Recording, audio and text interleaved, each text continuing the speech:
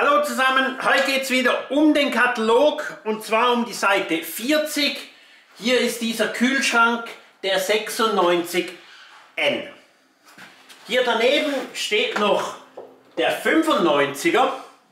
Der 95er ist ganz ein bisschen kleiner, aber hier in der Breite ist dieser Standard 48 und hier ist das Absorbermaß, also Gaskühlschrankmaß von 52,5. Der Unterschied ist, hier sitzt die Kühlmaschine hier hinten. Das heißt, ich kann den 1 zu 1 mit dem Absorberkühlschrank auswechseln.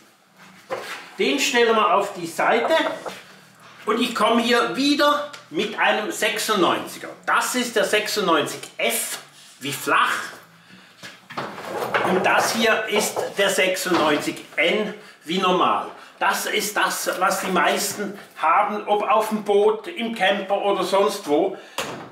Eine Türe, Tablare, äh, Gemüseschalen und hier oben ein Tiefkühlfach. Geht nur bis minus 12, das reicht zum Lebensmittel kurze Zeit zu halten. Und dieser Kühlschrank hier, der hat kein Eisfach. Der ist nur Kühlschrank und hat durch das wesentlich mehr Inhalt. Wir haben hier hinten eine flache, aus diesem Grund F, Verdampferplatte drin und die tropft dann hier unten in diese Tropfschale und zwar jedes Mal, wenn die Temperatur erreicht wird, schaltet der Kühlschrank aus, das Wasser taut ab, geht in diese Tropfschale hier unten und von der Tropfschale hier hinten in diesen Schlauch und den hängen wir dann an, runter durch den Außenmann und so tropft das Wasser unten raus. Bei diesem Kühlschrank hier haben wir das nicht. Hier sammelt sich das Wasser hier in dieser Tropfschale. Man könnte zwar hier wegschneiden und einen Schlauch anhängen, aber der Unterschied ist der, wenn ich hier lange unterwegs bin, Wasser wandert immer, oder Wasserdampf, von außen oder vom wärmeren zum tieferen Temperaturniveau, das ist in der Regel im Kühlschrank und das beschlägt hier. Weil wir hier immer unter Null sind, kann das nicht abtauen, das wird also mit der Zeit hier Eis bilden. Eis bildet es, wenn die Türe nicht sauber zu ist oder wenn Feuchtigkeit da ist, also so Grünzeug, äh, Salat und Gemüse, das am besten verpacken, weil das hat Wasser drin, das dampft dann aus dem Gemüse aus, geht hier oben raus. Und das Gemüse wird dann auch leichter und die Qualität schwindet. Ja, beide haben eine Innenbeleuchtung hier dran, die geht über die Innentüre auf. Hier in der Türe sitzt ein Magnet, sobald das Magnet in die Nähe kommt, schaltet die Innenbeleuchtung ein oder aus.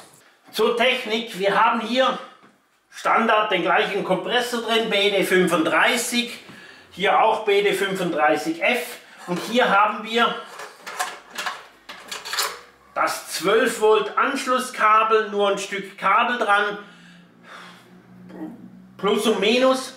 Und hier haben wir zusätzlich einen 230 Volt Stecker. Also wir haben es 12 Volt auch gleich, rot-schwarz. Schwarz ist Minus, Rot ist Plus. Und hier einen Euro-Stecker, der geht beim Schuko-Stecker rein, das ist nur der zweipolige. Und wir haben hier bei diesem Kühlschrank eine Vorrangschaltung. Das heißt, wenn ich das Ding 230 Volt einstecke oder anschließe oder beim Fahrzeug von außerhalb 230 Volt habe, schaltet er um auf 230 Volt. Wenn der Nachbar einen Stecker rauszieht, geht er zurück auf den 12 Volt. Und so habe ich keinen Verbrauch auf der Batterie, wenn er an 230 Volt angehängt ist. Hier unten mache ich euch das Video von diesem 95er, den habe ich gestern gezeigt. Und morgen gibt es ein Video über den gleich großen Kühlschrank, aber mit mehr Inhalt und externer Maschine. und ich wünsche euch einen schönen Tag.